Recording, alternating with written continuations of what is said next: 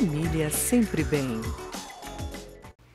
Fazer xixi na cama é um problema que afeta muitas crianças. Aos 4 anos, a maioria consegue controlar a bexiga durante o dia.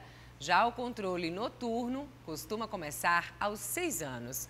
No quadro Família Sempre Bem de hoje, vamos aprender como ajudar as crianças que ainda não controlam a bexiga à noite. A enurese noturna, que é o hábito da criança fazer xixi na cama involuntariamente durante a noite, é uma coisa muito comum, que a gente escuta muito essa queixa das mães. E existem algumas técnicas também que ajudam a diminuir esse desconforto. É bom e importante salientar que tranquilamente isso vai se resolver em torno dos 5, 6 anos de idade, quando o sistema nervoso já tem amadurecido, quando a produção de urina à noite também, através da bexiga, passa a ser menor.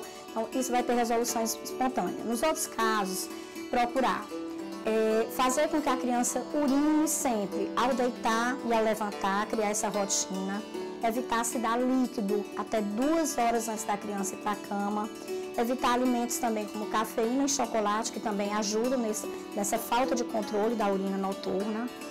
Procurar é, tranquilizar a criança, jamais punir, jamais deixar ela aterrorizada com essa possibilidade pode-se chegar até o momento em que tenha que se usar medicações, em casos mais graves, acompanhados por um urologista. Mas são casos mais extremos quando a criança chega aos 10 anos de idade sem ter esse controle do, do esfíncter.